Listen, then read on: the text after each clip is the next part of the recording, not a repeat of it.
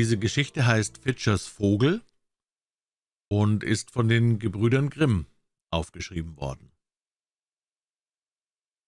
Es war einmal ein Hexenmeister, der nahm die Gestalt eines armen Mannes an, ging vor die Häuser und bettelte und fing die schönen Mädchen. Kein Mensch wusste, wo er sie hinbrachte, denn sie kamen nie wieder zum Vorschein. Eines Tages erschien er vor der Türe eines Mannes, der drei schöne Töchter hatte, sah aus wie ein armer, schwacher Bettler und trug eine Kötze auf dem Rücken, als wollte er milde Gaben darin sammeln. Er bat um ein bisschen Essen, und als die Älteste herauskam und ihm ein Stück Brot reichen wollte, da rührte er sie nur an, und sie musste in seine Kötze springen. Darauf eilte er mit starken Schritten fort und trug sie in einen finsteren Wald zu seinem Haus, das mitten darin stand. In dem Haus war alles prächtig. Er gab ihr, was sie nur wünschte, und sprach, »Mein Schatz, es wird dir wohl gefallen bei mir, du hast alles, was dein Herz begehrt.« Das dauerte ein paar Tage, da sagte er, »Ich muss fortreisen und dich eine kurze Zeit allein lassen. Da sind die Hausschlüssel, du kannst überall hingehen und alles betrachten, nur nicht in eine Stube, die dieser kleine Schlüssel da aufschließt. Das verbiete ich dir bei Lebensstrafe.« Auch gab er ihr ein Ei und sprach, »Das Ei verwahre mir sorgfältig und trag es lieber beständig bei dir, denn ging es verloren, so würde ein großes Unglück daraus entstehen.« Sie nahm die Schlüssel und das Ei und versprach, alles wohl auszurichten.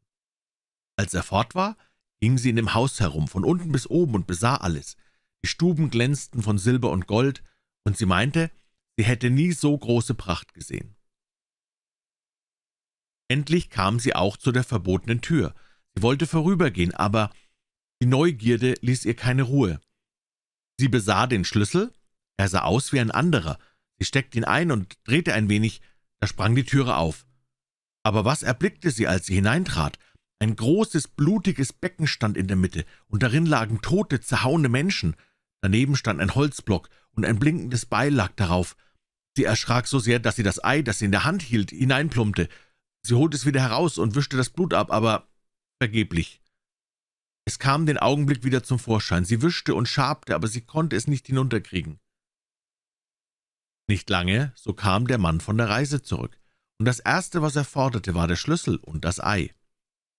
Sie reichte es ihm hin, aber sie zitterte dabei, und er sah gleich an den roten Flecken, dass sie in der Blutkammer gewesen war. »Bist du gegen meinen Willen in die Kammer gegangen?« sprach er. »So sollst du gegen deinen Willen wieder hinein. Dein Leben ist zu Ende.« Er warf sie nieder, schleifte sie an den Haaren hin, schlug ihr das Haupt auf dem Blocke ab und zerhackte sie, dass ihr Blut auf dem Boden dahinfloß. Dann warf er sie zu den übrigen ins Becken. »Jetzt will ich mir die zweite holen«, sprach der Hexenmeister, ging wieder in Gestalt eines armen Mannes vor das Haus und bettelte, er brachte ihm die zweite ein Stück Brot, er fing sie wie die erste durch bloßes Anrühren und trug sie fort. Es erging ihr nicht besser als ihrer Schwester, Sie ließ sich von ihrer Neugierde verleiten, öffnete die Blutkammer und schaute hinein und musste es bei seiner Rückkehr mit dem Leben büßen. Er ging nun und holte die dritte, die aber war klug und listig. Als er ihr die Schlüssel und das Ei gegeben hatte und fortgereist war, verwahrte sie das Ei erst sorgfältig, dann besah sie das Haus und ging zuletzt in die verbotene Kammer. Ha! Was erblickte sie? Ihre beiden lieben Schwestern lagen da in dem Becken jämmerlich ermordet und zerhackt. Aber sie hub an und suchte die Glieder zusammen und legte sie zurecht. Kopf, Leib, Arme, Beine. Und als nichts mehr fehlte, da fingen die Glieder an, sich zu regen und schlossen sich aneinander, und beide Mädchen öffneten die Augen und waren wieder lebendig. Da freuten sie sich, küssten und herzten einander. Der Mann forderte bei seiner Ankunft gleich Schlüssel und Ei, und als er keine Spur von Blut daran entdecken konnte, sprach er, »Du, hast die Probe bestanden. Du sollst meine Braut sein.« Er hatte jetzt keine Macht mehr über sie und musste tun, was sie verlangte. »Wohlan«, antwortete sie, »du sollst vorher einen Korb voll Gold meinem Vater und meiner Mutter bringen und es selbst auf deinem Rücken hintragen. Derweil will ich die Hochzeit bestellen.« Dann lief sie zu ihren Schwestern, die sie in einem Kämmerlein versteckt hatte, und sagte, »Der Augenblick ist da, wo ich euch retten kann. Der Bösewicht soll euch selbst wieder heimtragen, aber sobald ihr zu Hause seid, sendet mir Hilfe.« Sie setzte beide in einen Korb und deckte sie mit Gold ganz zu, dass nichts von ihnen zu sehen war. Dann rief sie den Hexenmeister herein und sprach, »Nun trag den Korb fort, aber dass du mir unterwegs nicht stehen bleibst und ruhest. Ich schaue durch mein Fensterlein und habe Acht.« Der Hexenmeister hob den Korb auf seinen Rücken und ging damit fort. Er drückte ihn aber so schwer, dass ihm der Schweiß über das Angesicht lief. Da setzte er sich nieder und wollte ein wenig ruhen. Aber gleich rief eine im Korbe, »Ich schaue durch mein Fensterlein und sehe, dass du ruhst. Willst du gleich weiter?« Er meinte, die Braut rief ihm das zu und machte sich wieder auf. Nochmals wollte er sich setzen, aber es rief gleich, »Ich schaue durch mein Fensterlein und sehe, dass du ruhst. Willst du gleich weiter?« Und so oft er stillstand, rief es, und da musste er fort, bis er endlich stöhnend und außer Atem den Korb mit dem Gold und den beiden Mädchen in ihrer Eltern Haus brachte. Daheim aber ordnete die Braut das Hochzeitsfest an und ließ die Freunde des Hexenmeisters dazu einladen. Dann nahm sie einen Totenkopf mit grinsenden Zähnen, setzte ihm einen Schmuck auf und einen Blumenkranz, trug ihn oben vors Bodenloch und ließ ihn da hinausschauen.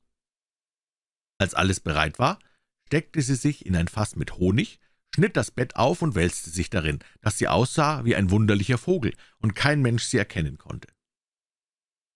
Da ging sie zum Haus hinaus, und unterwegs begegnete ihr ein Teil der Hochzeitsgäste, die fragten, »Du, Fitchers Vogel, wo kommst du her?« »Ich komme von Fitze Fitchers Hause her. Was macht denn da die junge Braut?« Hat gekehrt von unten bis oben das Haus und guckt zum Bodenloch heraus. Endlich begegnete ihr der Bräutigam, der langsam zurückwanderte.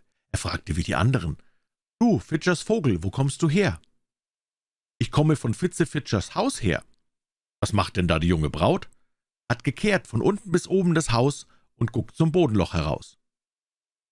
Der Bräutigam schaute hinauf und sah den geputzten Totenkopf. Da meinte er, es wäre seine Braut und nickte ihr zu und grüßte sie freundlich. Wie er aber samt seinen Gästen ins Haus gegangen war, langten die Brüder und Verwandte der Braut an, die zu ihrer Rettung gesendet waren. Sie schlossen alle Türen des Hauses zu, so dass niemand entfliehen konnte, und steckten es an also dass der Hexenmeister mitsamt seinem Gesindel verbrennen musste.